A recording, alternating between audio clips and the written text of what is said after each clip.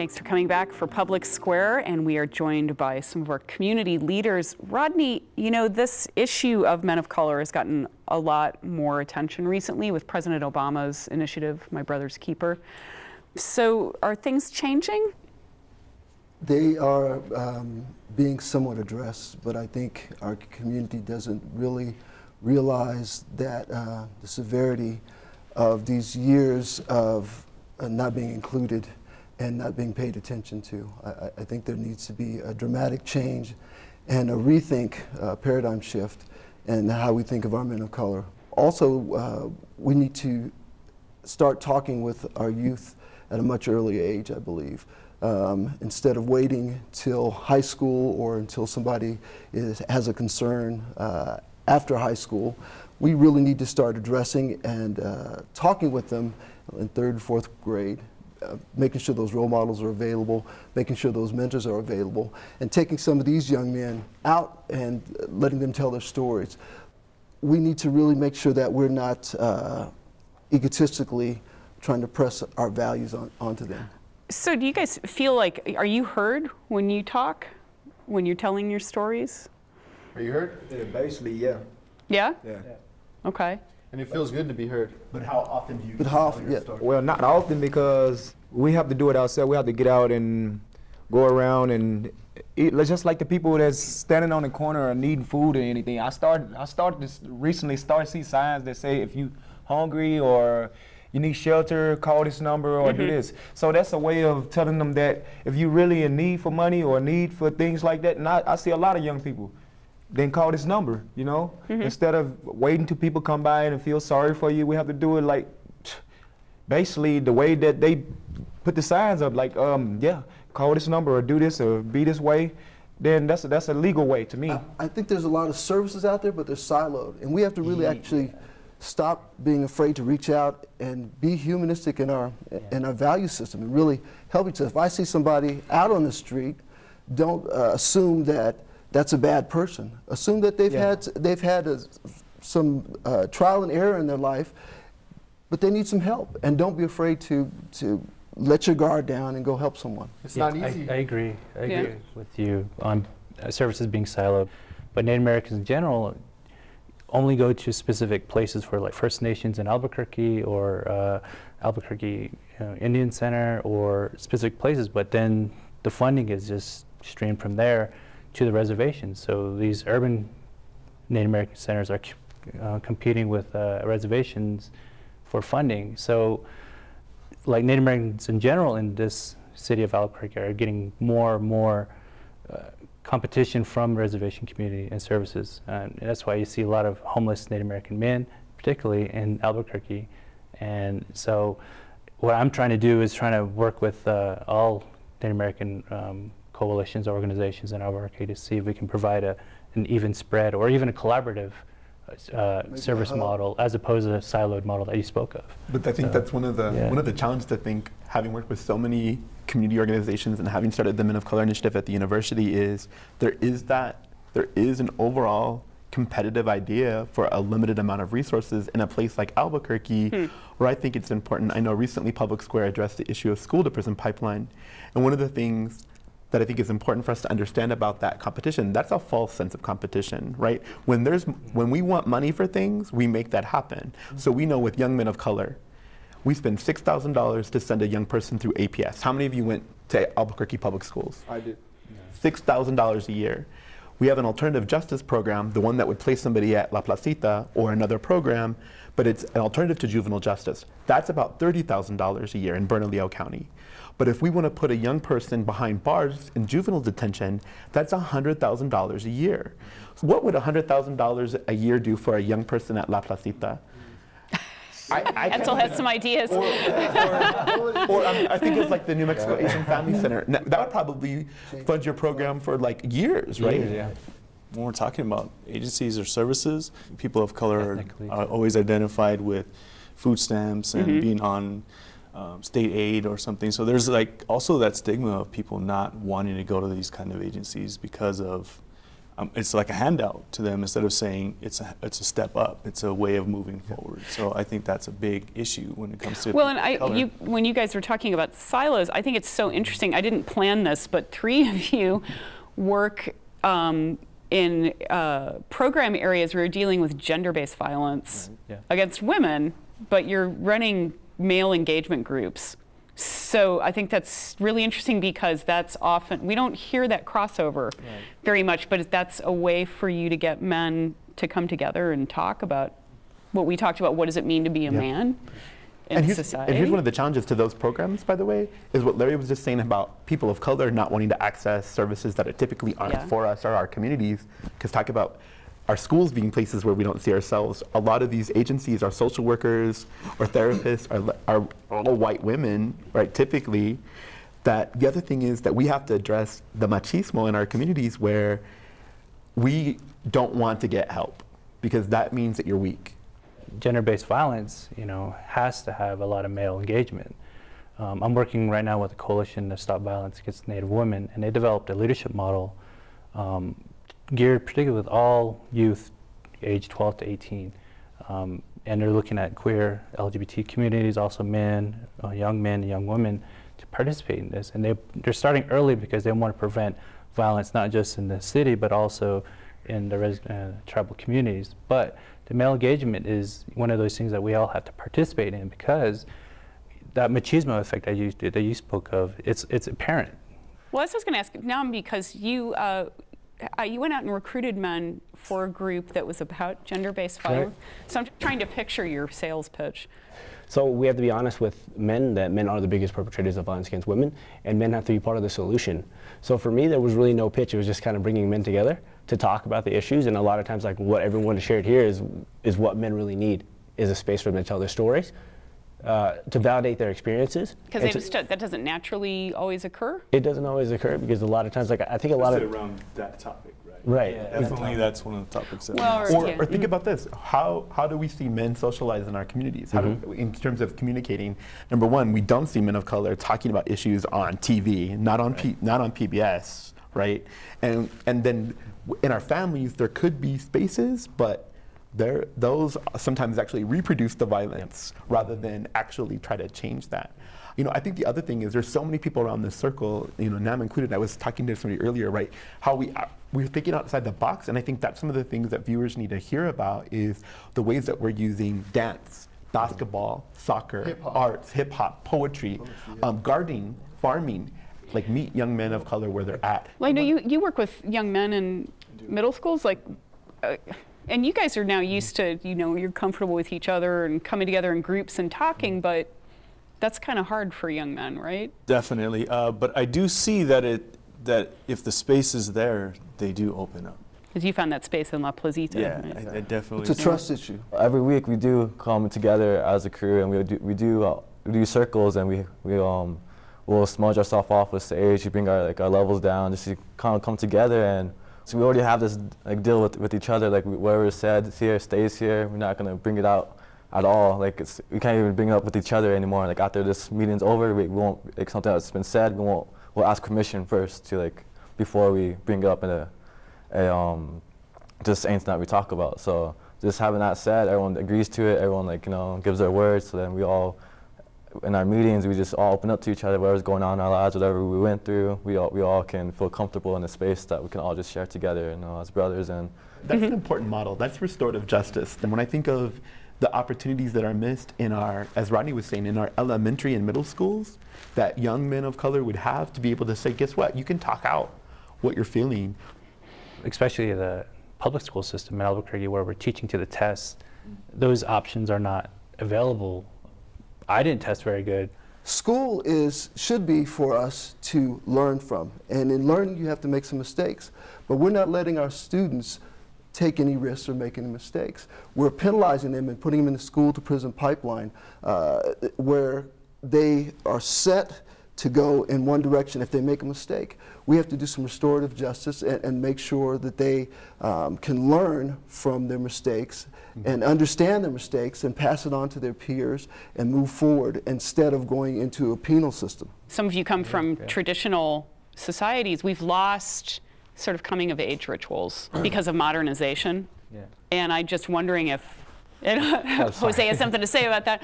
If, would that be something to look at for young men? I mean, you have no sort of threshold saying now you are a man. In La Plazita, we have something that's called La Cultura Cura, uh, Culture Heals. So uh, that's different for, uh, a little bit different for Etzel than it is for me.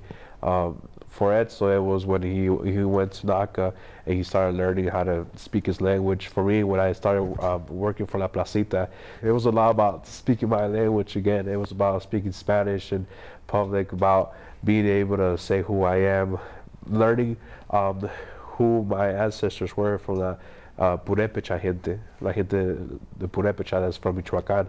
Um, learning a lot, what it meant to uh, be a boy going to become a man, what what a what uh, rites of passage that means, how uh, society, how we um, as young men have uh, over time created that uh, for each other.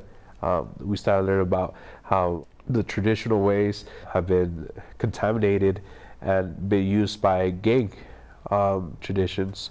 So a lot of symbols that uh, relate to us in in tradition gangs Mm. use them now and stuff like that. Oh, that. wow. So, I was just going to say yeah. that. that- sorry. Mhm. Go ahead, go ahead. Um, just that I think that we've lost the traditional uh, rites of passage, but there are cultural rites of passage, and one of them was like you were saying, like the gang, intro- like being introduced into a gang, or I think for young men, sex is a big thing. Like that kind of to them is a rite Oh, of now I'm a passage. man. Yes, um, violence is a big thing that men, young men see as a rite of passage.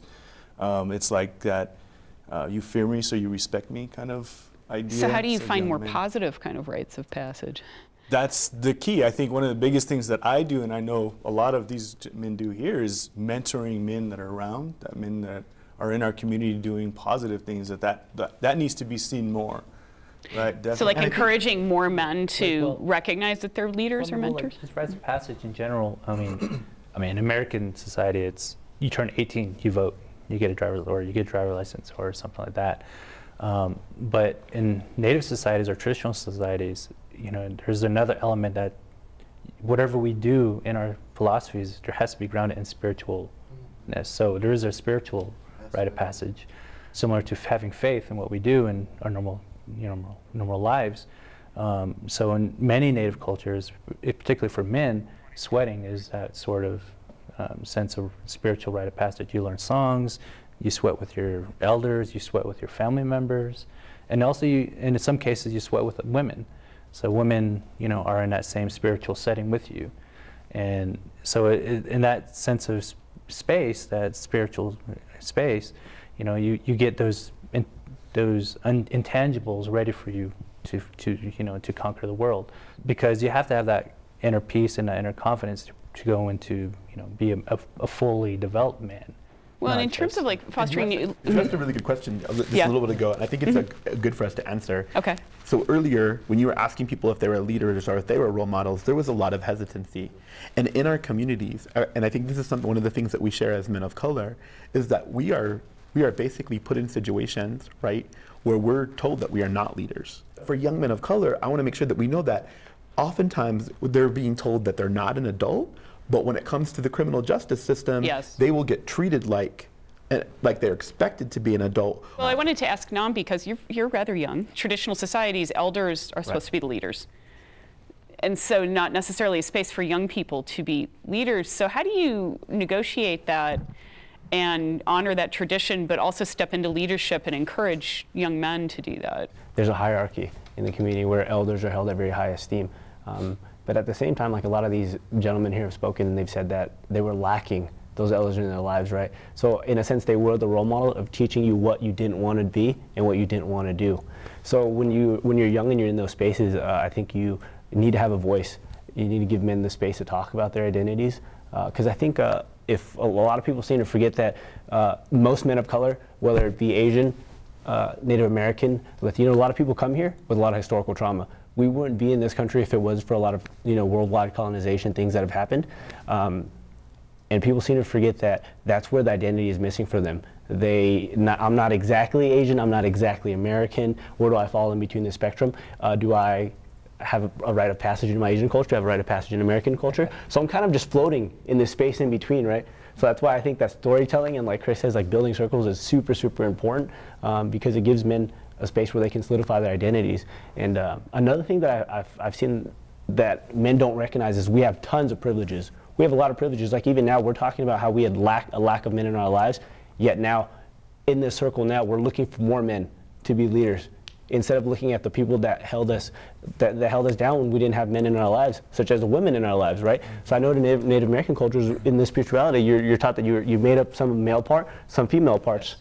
So I think it's important that we, uh, instead of always searching and saying that men need to have men in their lives to lead them, that we look around and look at the women that, that have led us and give them the space and the credit they deserve. I wanted to say, like, I feel like that a, a lot of what we're talking about is we don't address the root causes of all these problems. And what he just said echoes with me. Like, I'm American, but I'm Mexican. I'm also gay, and I, I'm like, where, who am I? And then when I see images on TV and in school, it's not me. It's a white male. And like you said earlier, I mean, women are still not paid equal. What does that send the message of when, when a man like Donald Trump can potentially be the leader of our nation and put my community like down, degrade Mexicanos, immigrants, and, and then there's all these people striving and screaming, yay, for Donald Trump. You know, what message does that send to someone like me or to all of us? People like to say with the Black Lives Matter movement, oh, slavery was so long ago. I'm like, how, how can, in the world can you not understand that what happened at that time, a long time ago, is still very much alive in our country today? How can you not say that not paying a woman the same wage doesn't affect what's going on? Indigenous people, this is, we're in their land right now. How do the historical trauma? How does that affect us? People, we don't address that. So how do if you're talking with to to convince people that Black Lives Matter, that young men of color matter, that their their success is community success, the wider success. How do you communicate that to people? Well, for instance, like the organization, like the forum, like they provide opportunity to, to, to learn about civic identity and learn where we fit in, and we, we do it together. Like I just want to hit real quick, like he just inspired me to call my dad because my dad's in Mexico, so he doesn't even know he's leading me, and he's leading me. But back to like how the forum provides opportunity. So finding leadership with each other. Exa- oh, definitely. Because okay. once you're neuro, interpersonal neurobiology, Daniel Siegel proves that like at 14 we start learning only f- we start looking more towards our peers than we do our adults, and that's just science. That's just nature. It's not what I want to do. It's what I naturally do. But like there's Oya, like we throw Oya. The forum does Oya Youth uh, Youth Alliance, and we have 350 people coming, youth, 350 youth coming and talking about all these issues, about gender issues, about racial issues, about economic issues. So making the floor and making sure that we're supporting these organizations that are opening the floor. It sounds like we need, you know, to make a space for those voices, Rodney, but also people need to step up and recognize their own leadership. It can't just be you and Kevin and Larry and, you know. I think we all have to value diversity, and that's not taught in, in, in the public school system. It's his story, if you know what I mean, his story. And we're not getting the true story. I'm not getting his story in the history books. I'm not getting his story. I'm not getting his story. I'm getting a mythical set of values, and it perpetuates throughout our society, and it's, it's faulty. And so we don't value each other because, based off of that history that we've been taught. We have to really reintegrate um, everybody's history because everybody, all these faces in here ha- have a dynamic makeup of, of the American culture. But it has to be put back into our psyches, into our, our society. And we have to put the spirituality component back into it as well. So does that mean people who look more like you moving into those places of power and changing those institutions? Uh, Creating new institutions? I think we are in those positions of power because he just did it and he didn't even know.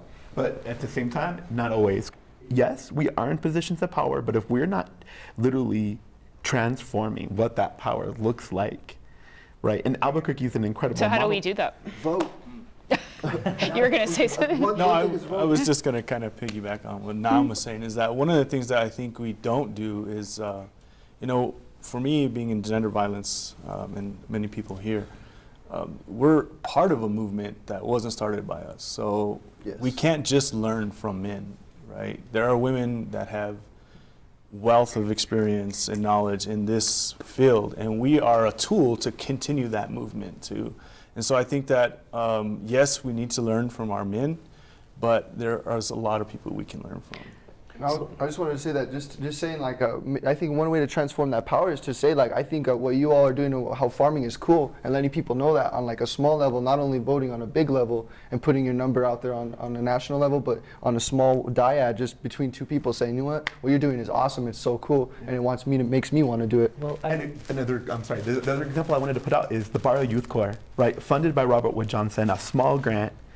And if I think about like how, now this program is going to end in October, what happens to these young men after October when their funding runs out at La Plazita?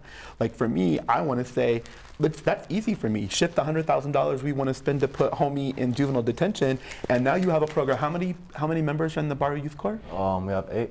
eight we could we could be employing eight young young men to like be doing good work in their community to be Awesome to be making circles with each other i i don't know it makes common sense for me to say that's where i'd rather have money invested in my in my community rather than in locking somebody up behind bars sorry to interrupt you kevin Well, it's okay. I, I want to just e- extend your idea and think about, and we are, we, one thing we were talking about is the community.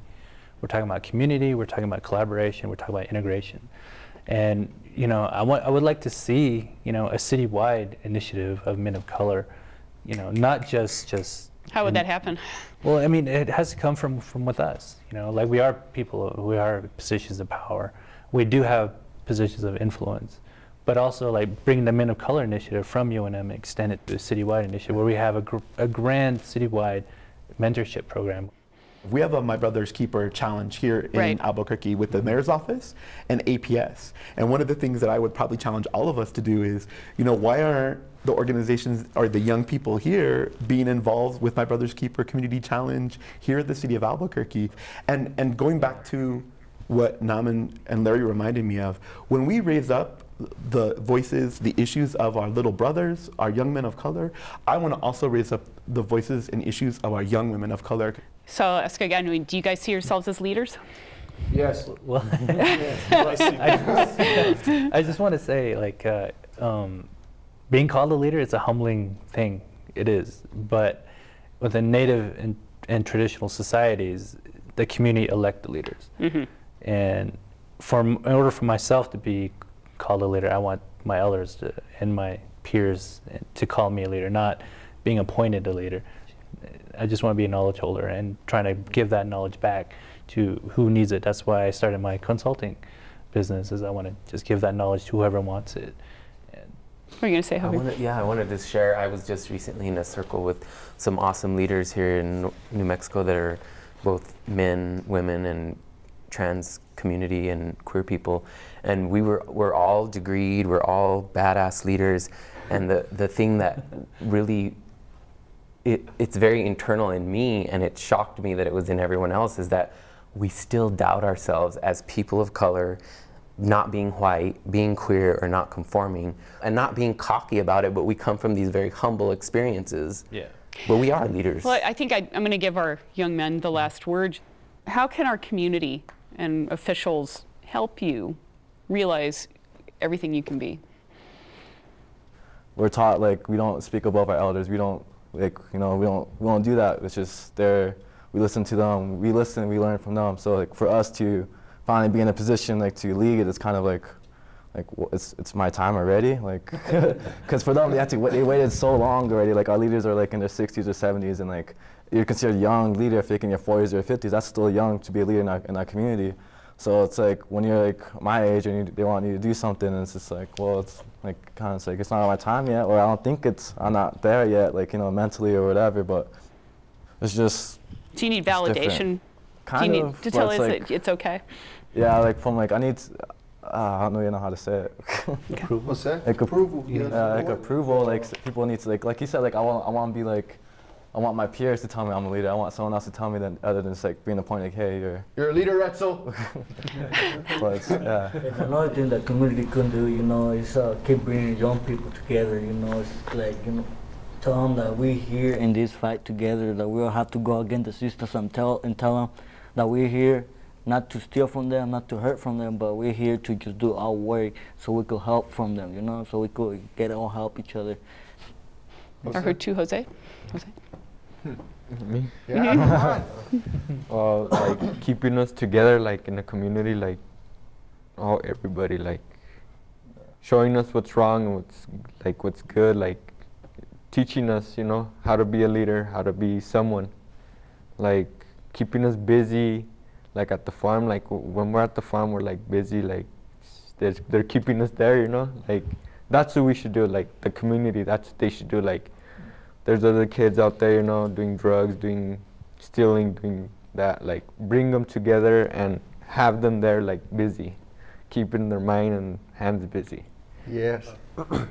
I think uh, a lot about what this man said. is if you're able to afford millions upon millions of dollars a year to keep uh, young adults, you know, in the prison in the prison for the rest of their freaking lives, you should be able to afford, uh, you know, good education for them. You should be able to afford a good uh, salary for women uh, to be great teachers for us and um, men of color. You should be able to afford so many more things that you that um, you say, oh, there's no more money for. Yes, there is. Obviously, there is because you're wasting so much money on other things. I can't say it any better than that. I want to thank you all for coming and joining us in this discussion. And thank you so much. Feel free to stay around and talk.